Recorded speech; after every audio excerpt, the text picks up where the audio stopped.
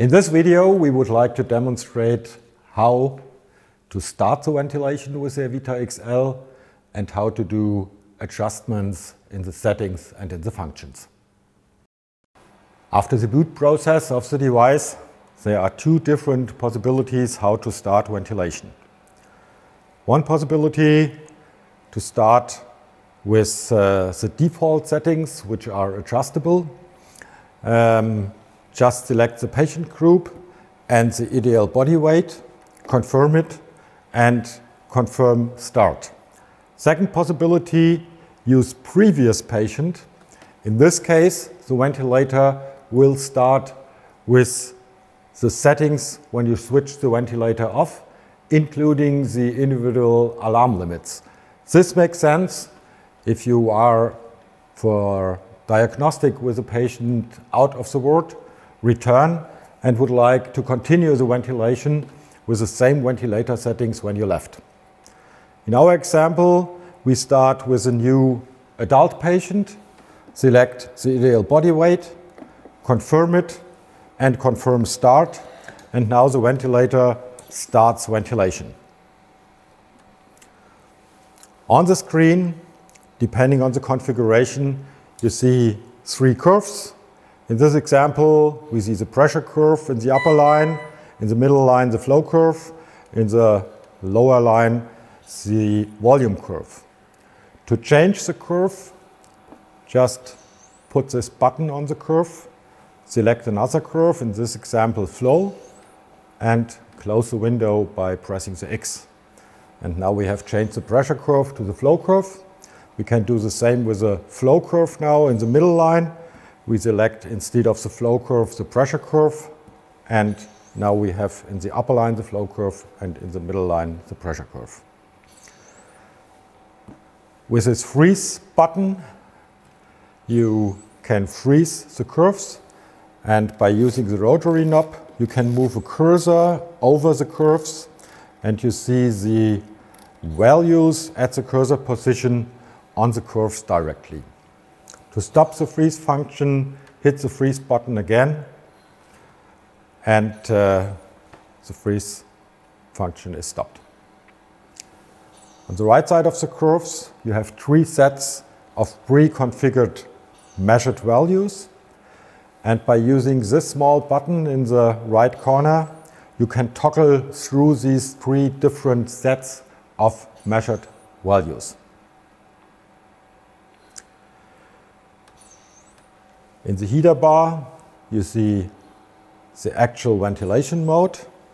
And in the lower area here, you see the ventilation parameters belonging to this actual ventilation mode. To change a parameter, just push the button. The adjustment window opens and the desired value is yellow illuminated now you can change the value by using the rotary knob, confirm, and now you decreased, for, in, for instance, the desired tidal volume. If you would like to change the ventilation mode, just select the desired ventilation mode, adjust your settings accordingly, confirm by pressing the rotary knob, and confirm now the new ventilation mode again. And now, instead of BiPAP, IPPV is active. The Evita XL offers a special context-sensitive help function for a lot of um, functionalities.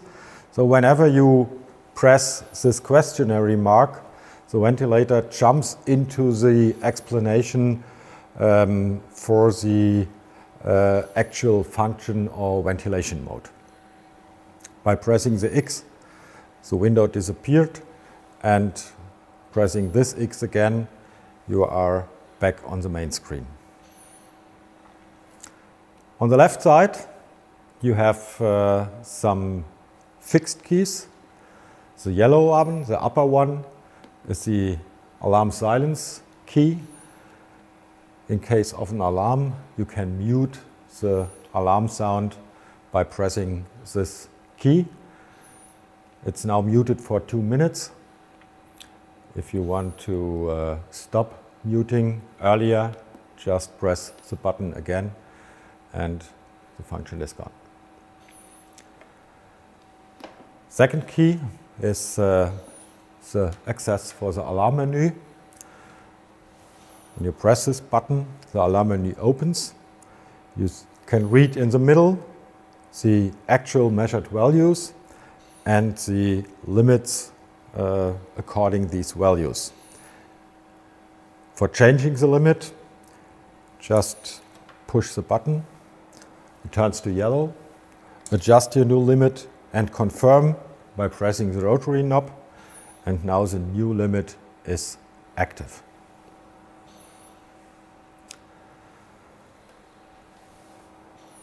Next button offers you also the ability to have directly access into the ventilator settings, which can also be done by pressing one of the parameters. Same function. The button sensor parameters gives you the ability to do manual calibration of the O2 sensor, of the flow sensor, and if the device is equipped with CO2 measurement, also for the CO2 sensor.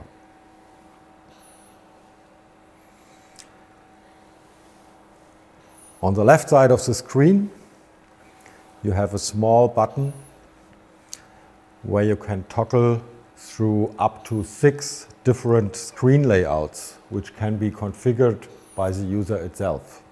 Whenever a menu is open, you can go back to your main screen by pushing this main screen button. And when you push the main screen button, all menus are closed and you return to the main screen. Special procedure opens a menu where you have access to inspiration hold, for instance, expiration hold, where you can start the nebulization or where you have access to the uh, O2 suction maneuver. You have also access in this menu to uh, the special measurement procedures like uh, PO1 measurement or intrinsic PEEP measurement, for example, to the low flow PV loop. All of these functions are also explained in the context sensitive help by pressing this questionnaire mark. With the on-off button, you can switch the device into standby, select standby, confirm by pressing the rotary knob, select alarm reset and confirm again. Now the ventilator is in standby and you can shut it down completely by pressing the main switch on the backside of the device.